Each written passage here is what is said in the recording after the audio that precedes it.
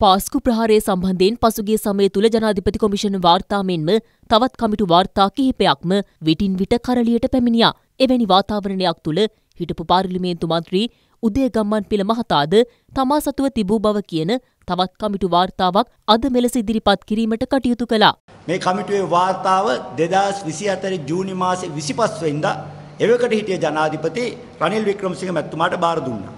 මොහමඩ් සාරා නැතුළු ජාතික තෞහිද් ජමාත් ත්‍රස්තවාදීන් ප්‍රසිද්ධ කතෝලික පල්ලි ඇතුළු ස්ථාන කීපයකට මරාගෙන මැරෙන ප්‍රහාරයක් එල්ල කිරීමට කටයුතු කරන බව විදේශීය බුද්ධවංශයෙන් දැනුම් දුන් බව අපරාධ පරීක්ෂණ දෙපාර්තමේන්තුවේ ජ්‍යෙෂ්ඨ නියෝජ්‍ය පොලිස්පතිවරයාට දැනුම් දෙනවා. දැන් අප්‍රේල් 9 මේ ලිපිය එන විට රවී සෙනවිරත්න මහතා විදේශගත වෙලා. නැවත ලංකාවට ඇවිත් ලිපිය දකින්නේ 16 වෙනිදා කියලා රවී සෙනවිරත්න මහතා කියනවා.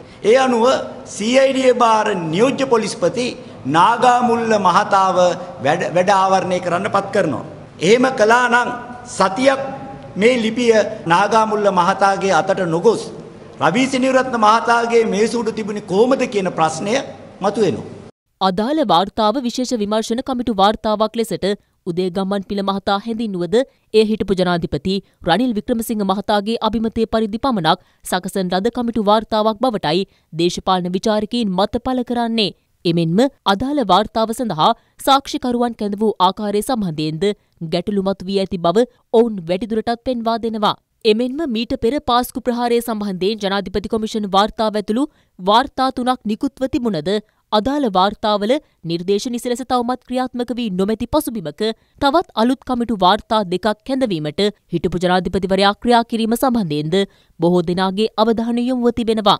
මේ සියල්ලගේම විමර්ශනය ආරම්භ කරේ කවුද?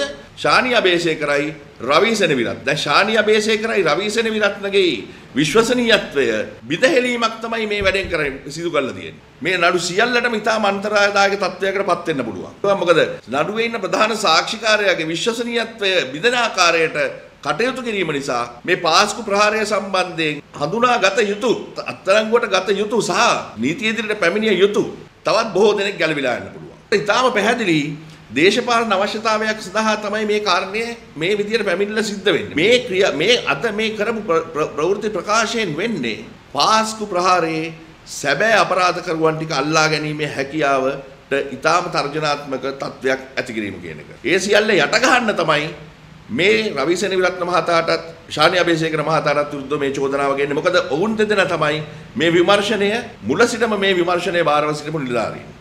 මේ අතර සමාජ මාධ්‍ය ක්‍රියාකාරිකයෙකු වන තරිඳු ජයවර්ධන මහතාද ඔහුගේ YouTube නාලිකාව තුළ මෙම සිද්ධිය සම්බන්ධයෙන් මෙලෙස අදහස් පළ කළා. ඕක නීති අනුකූල කමිටුවක් නෙමේ. ජනාධිපතිවරයා විසින් ওই කමිටුව පත් කළේ රවී සෙනවිරත්නට විරුද්ධව කරුණු හොයන්නම තමයි. ඒ ඒ දවස්වල මාධ්‍ය නිවේදන අරන් බලන්න මාධ්‍ය වාර්තා කිරීම බලන්න පද මාලිමාවේ පොලිස් සාමික නිර්මාණය කරාට පස්සේ තමයි මේ කමිටුව පත් කළේ. ඒ දවස්වල අපි කිව්වා ඒ කමිටුවේ ප්‍රතිඵලය රවි වැඩිකාරයෙක් කරන එකම තමයි කියලා. ගම්මන්පිල අද වාර්තාවක් කියලා කරුණු කීපයක් කිව්වා. හැබැයි ඔය ඔය ඔය කමිටුවට රවී සෙනරත්න සහ ශානි අබේසේකර දුන්න සාක්ෂිය පුළුවන් නම් එළියට දාන්න. ඔය කමිටුවට ශානි සහ රවී කැඳෙව්වා.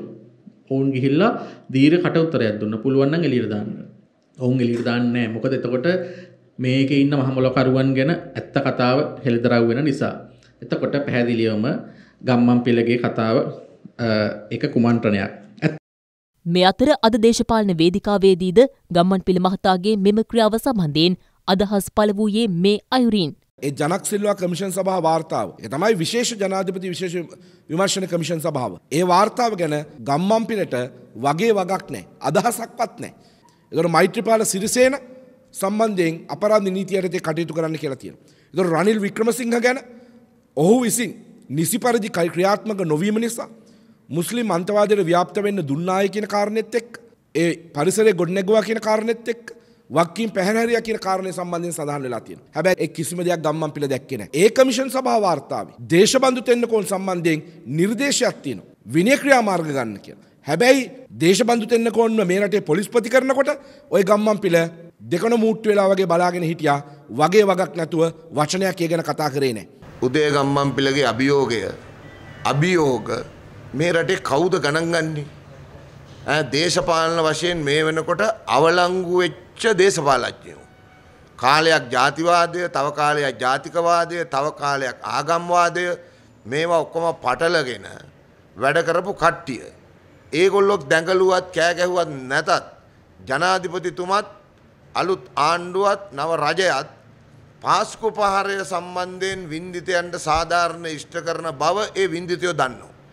ගම්පුලාත් එක්ක හැටි ඕම තමයි මොකද එයා හරි කැමති කැපී පේන්න මිනිහා පෙරදිලා ඉන්නේ යන්නේ මන් නැතිලා ඉන්න නිසා මිනිහා උත්සාහ කරන පොඩ්ඩක් කැපී පේන්න ඒ නිසා පොඩි සද්දයක් දාන්න ওই වාර්තා එකක්වත් අපි හදපු වාර්තා නෙවෙයි ওই පාස්කු සම්බන්ධයෙන් වාර්තා ඔක්කොම හැදුවේ කලින් තිබිච්ච ආණ්ඩු ඒගොල්ලෝ තමයි වාර්තා තියන් හිටියේ වාර්තා එළියට දැම්මේ නැත්නම් හංගන් හිටියනම් ඒක අපේ ප්‍රශ්නයක් නෙවෙයි ඒගොල්ලන්ගේ ප්‍රශ්නයක් ධම්මපිල මහත්තයා තිබු ආණ්ඩු තමයි හංගලා තියෙන්නේ හැබැයි අපි එකක් සාධක කළගෙන මොකද්ද පාස්කු ප්‍රහාරය සම්බන්ධයෙන් වාර්තා සියල්ල අපි අරගෙන ඒ සම්බන්ධ පරීක්ෂණ අපි මම කටයුතු කරලා තියෙනවා පාස්කු ප්‍රහාරය සම්බන්ධයෙන් වැරදිකාරයන් බවට පත් වෙන හැම කෙනාටම විරුද්ධව අපි නීතියට අනුව දඬුවම් දීම නම් අනිවාර්යෙන් කරනවා මේ අතර ඊයේ පැවති දේව මෙහෙයකදී අතිඋතුම් මැල්කම් කාදින රංජිත් හිමිපාණන්ද උදේ ගම්මන් පිළ මහතා ඉදිරිපත් කළ මෙම වාර්තාව සම්බන්ධයෙන් අදහස් පළ කළේ මේ අයුරින්.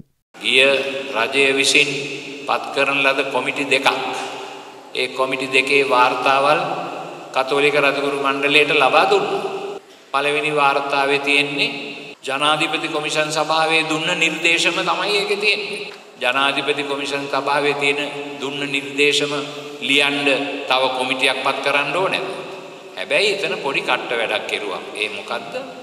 ඒ නිර්දේශවලට අමතර දැන් රජයේ පැත්තේ වැඩ කරන උසස් නිලධාරීන් දෙන්නෙකුට විරුද්ධව නීතිමය කටයුතු කරන්න කියලා ඒ කොමිටියෙන් යෝජනා කෙරුවා. ඒ කොමිටියට ඒ යෝජනා දුන්නේ කවුද? ආණ්ඩුවමයි. ආණ්ඩුවට ඕන ඕනේ පදයට පාස්කු ප්‍රහාරයේ විමර්ශන මේ අතට ඒ අතට අර අතට යවන්න ඒගොල්ලෝ කටයුතු කරාට ඒවා අපි පිළිගන්න සූදානම් නැහැ.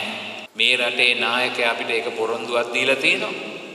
ඒ පොරොන්දුව අනුව විමර්ශනයක් ආරම්භ කරලා තියෙනවා.